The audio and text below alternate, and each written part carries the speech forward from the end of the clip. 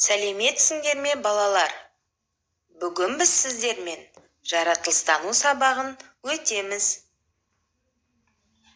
Жаратылыстану сабағында тыныс алудың құпиялары туралы білетін боламыз. Бүгінгі сабақтан сенің білетінің тыныс алу жүйесінің құпиялары туралы сенің меңгеретінің адамның қалай тыныс алатынын білесің.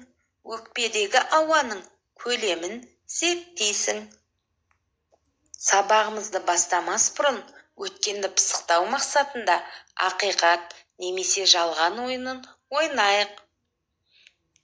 Сендер ақиқат немесе жалған екенін ажыратып отырыңдар. Ауасыз өмір сүре аламыз. Ауа тек далада болады. Оттегі таза ауа. Ауа түссіз дәмсіз. Ауамен тек қана адамдар демалады. Таза ауада серуендеген пайдалы. Өз денсаулығың өз қолыңда. Ойланамыз балалар. Балалар егер сендер ажыратып болсаңдар онда тексеріп көрейік. Ауасыз өмір сүре аламыз. Жалған. Ауа тек далада болады. Жалған.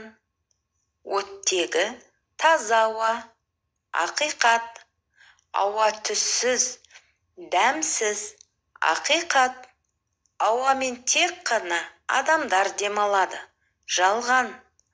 Таза ауада серуендеген пайдалы. Ақиқат. Өз денсаулығың өзіңнің қолыңда. Ақиқат. Жарайсыңдар балалар. Сендер де осылай ажыратты деп ойлаймын. Керемет. Ендеше балалар өткен сабақты еске түсірейік. Тыныс алу жүйесін қандай мүшелер құрайды екен? Ойланамыз. Мұрын кеңірдек. Ауа тамырлар. Оң жақ өкпе және сол жақ өкпеден құралады екен. Жарайсыңдар балалар. Біз тыныс алу жүйесін құрайтын мүшелерді білеміз. Ал тыныс алу құпияларын білеміз бе?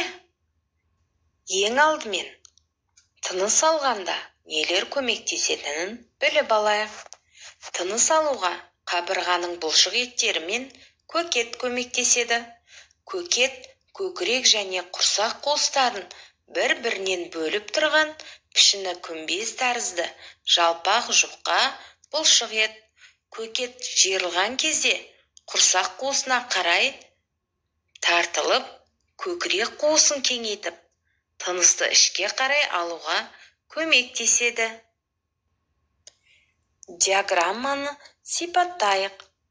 Терең тыныс шығару мен қалыпты тыныс шығару көлемін салыстырайық. Терең тыныс алған адамдарда өкпесінде үш литрге дейін ауа болады екен. Қалыпты тыныс алу кезінде екі литрге дейін ауа болады. Қалыпты тыныс шығару кезінде бір литр терең тыныс шығарған кезде бір литрге дейін ауа болады. Өкпеде қалдық көлемде ауа қалады екен. Балалар біз деніміз сау болу үшін өкпені үнемі күтімде ұстауымыз керек. Тыныс алу кезекпен демді ішке тарту мен сыртқа шығарудан тұрады. Демді ішке тартқанда өкпе ауаға толады. Оттек қанға өтеді. Ал демді шығарғанда өкпе қысылып көмірқышқыл газды сыртқа шығарады. Терең дем алғанда және демді шығарғанда біз тынысымыздың әдеттегі тереңдігін өзгертеміз. Өте терең дем шығарғанда да өкпеде аздаған ауа қалады. Бұл ауа газ алмасуға қатыспайды тыныс алуға көкет көмектеседі ол бұлшық еттен тұратын желкенге ұқсас болады. Тыныс алғанда көкет түседі өкпеде бос кеңістік ұлғаяды. Тыныс шығарғанда ол көтеріледі екен. Сен білесің бе адам өкпесінің көлемі әдетте 3-5 литр болады. Ал шыныққан спортшылардың өкпесі 7 литрге дейін ұлғаяды екен. Сондықтан қанша күш жұмсаса да олардың тынысы тарылмайды.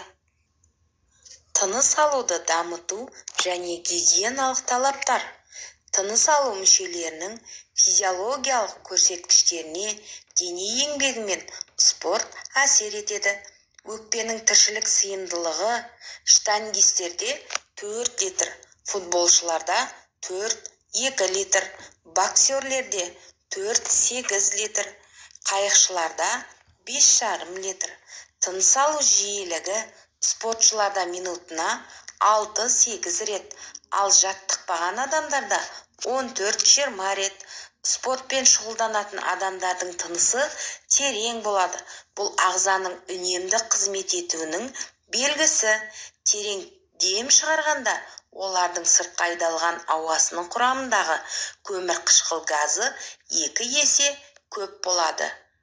Мұндай терең дем алу жүрекке массаж жасайды да оның қоректенуін және физиологиялық қалпын жақсартады. Тыныс алу мүшелерін жаттықтыру шынықтыру балалар мен жастардың тыныс мүшелері арқылы пайда болатын ауруларға қарсы тұру қабілетін арттырады. Біз тыныс алу жүйемізді сақтау үшін гигиеналық талаптарды қатаң ұстауымыз керек. Ауасы таза бөлмеде ұйықтап бөлмелерді үнемі желдетуіміз керек. Таза ауада серуендеген пайдалы киім киюде дұрыс дем алу және дем шығаруға әсер етеді. Сондықтан киім жеңіл денені қыспайтын қимыл қозғалысқа кедергі келтірмеуі қажет. Тыныс алу жүйесі жас ерекшелігіне қарай әртүрлі болады екен. Көмейдің жалғасы кеңірдектің ұзындығы балаларда 4 сантиметр 10 жаста 7 сантиметр ересек адамдарда 10-12 сантиметр болады екен.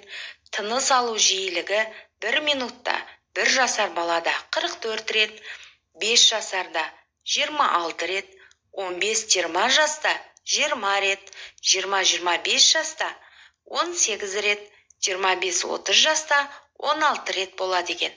Жаңа туған нәрестенің кеуде қуысы конус тәрізді болады. Сондықтан бала терең демала алмайды. Қабырға сүйектері қиғашталғаннан кейін терең демалатын мүмкіндік туады екен. Өкпенің тіршілік сыйымдылығы туралы түсінік алайық. Өкпенің тіршілік сыйымдылығы дегеніміз дем алу қосымша және қордағы ауалардың қосындысы. Адам қалыпты жағдайда демалғанда өкпеге 300-500 миллиграмм ауа кіреді. Мұны дем алу ауасы дейді. Қалыпты жағдайдағы жай ғана демалған соң демді шығармай күшеніп тұрып тағы да бір жарым екі литр ауаны сіміруге болады. Мұны қосымша ауа дейді. Қалыпты дем шығарудан кейін дем алмай тұрып тағы да күшеніп дем шығарып бір бір жарым литр ауаны шығаруға болады. Мұны қордағы ауа дейді. Тыныс алу мүшелерінің ауруларына тұмаудан басқа ауа тамыр мен өкпенің қабынуы тыныс демікпесі туберкулез және тағы басқалар жатады екен. Терең тыныс шығарудың көлемі қандай болатын? Балалар сендермен зерттеп көрейік. Ол үшін бізге құралдар қажет. Қажетті құралдар су құйылған ыдыс су құйылған бір жарым литр пластик бөтелке пластик түтікше.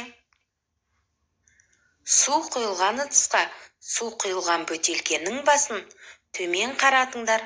Алақанмен жауып су бар ыдысқа батырып төңкеріңдер. Бөтелкенің ернеуі суға батып тұратындай етіп ұстаңдар. Пластик түтікшені су құйылған бір жарым литр пластик бөтелкенің аузына тығыңдар.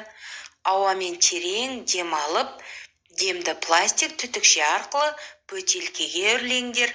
Бөтелкеден қанша су шыққанын анықтаңдар. Соған байланысты өкпедегі ауаның көлемін білуге болады екен.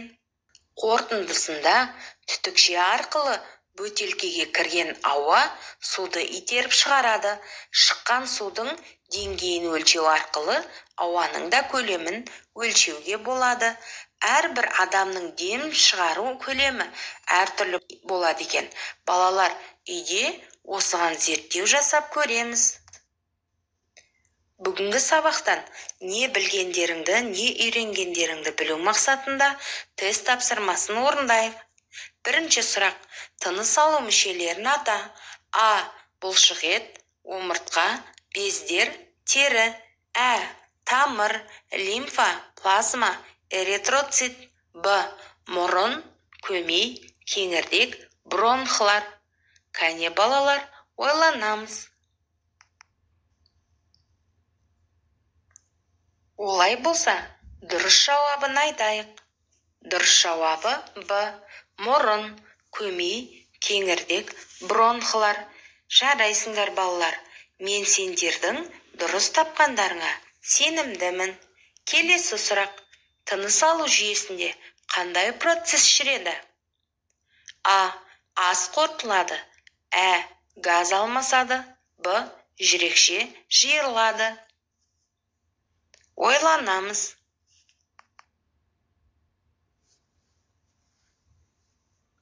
Ойлансаңдар дұрыс жауабын айтамыз. Дұрыс жауабы ә газ алмасады. Жарайсыңдар балалар ендеше келесі тапсырмаға өтейік. Шыныққан спортшылардың өкпесі неше литрге дейін ұлғаяды? А жеті литр. Ә он литр. Б төрт литр. Ойланамыз балалар. Дұрыс жауабын табамыз. Дұрыс жауабы а жеті литр. Жарайсыңдар балалар. Сендер де осылай дұрыс тапты деп ойлаймын. Ендеше үйге тапсырма. Біз неліктен түшкіреміз және жөтелеміз. Осыны ізденіп ойланып тауып келеміз. Осымен балалар сабағымыз аяқталды. Бүгінгі сабақ сендерге ұнады деген ойдамын. Егер бүгінгі сабақтан көп нәрсе білсең жасыл түстегі бас бармақты көрсетуге болады. Ал егер түсіндім бірақ әлі де сұрағым бар десең сары түсті бас бармақты. Ал әлі де білгім келеді десең қызыл түстегі бас бармақты көрсетуге болады. Балалар осымен сабағымызды аяқтаймын. Қош сау болыңдар назар аударғандарыңызға рахмет.